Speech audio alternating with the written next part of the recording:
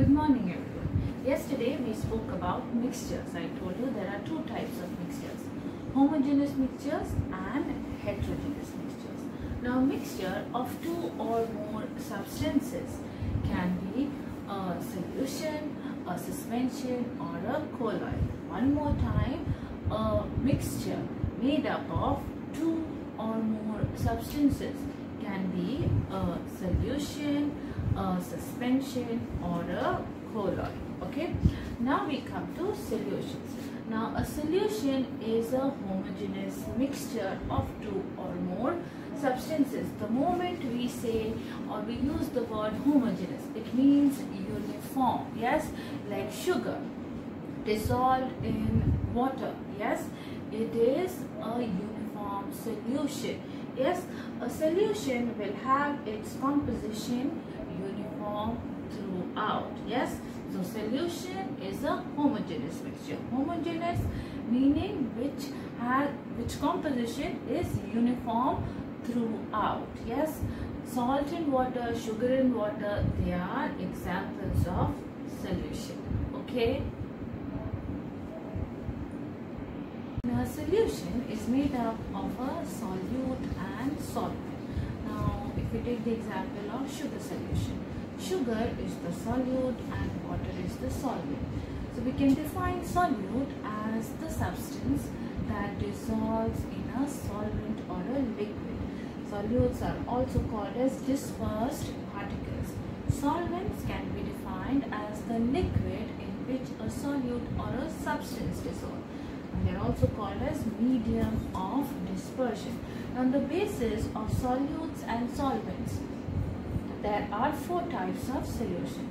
Now the first is solid and liquid, uh, like no sugar solution, uh, salt solution. Yes, these are example of solid and liquid where sugar and salt they are the solids and water is the liquid. Then liquid and liquid solution we have alcohol in water, dettol in water, yes, liquid in liquid solution. Then gas in liquid solution, that is like no, when we have like soda water where carbon dioxide is dissolved in water. So gas dissolved in water. Then we have solid in solid solution. All the alloys, yes, they are examples of solid in solid like brass, yes, it is an example of solid in solid solutions okay basis of nature of solvent there are two types of solution aqueous and non-aqueous solution. Now solution which is obtained by dissolving a substance in water. Here like no sugar in water salt in water they are examples of aqueous solution. Non-aqueous solutions are solutions which are obtained by dissolving a substance in some other liquid than water. The liquid can be alcohol, acetone, carbon di disulfide, carbon tetrachloride. Like no, we have. I mean, the examples can be like no, uh, tincture iodine. Here, iodine is dissolved in alcohol.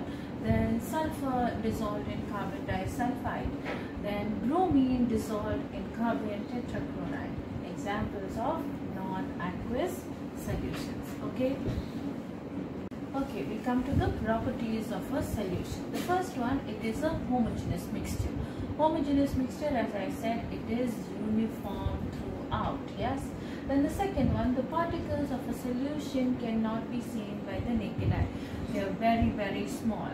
I mean, the size of the dispersed particles ranges from 10 to the power minus 10 to 10 to the power minus 9 meter. Okay then a solution is stable. Here means if we leave the solution like that, the solutes don't settle down. Sugar doesn't settle down after we dissolve it in the water. So it is stable. Then there is no demarcation, no boundary where we can separate the solutes and the solvent. Yes, so stable. Solution is stable. Then the components of a solution cannot be separated by filtration. This everybody understands. A solution does not scatter a beam of light passing through it because the, the size of the particles is very small. I hope you all have understood. In case any doubts, do let me know. Thank you.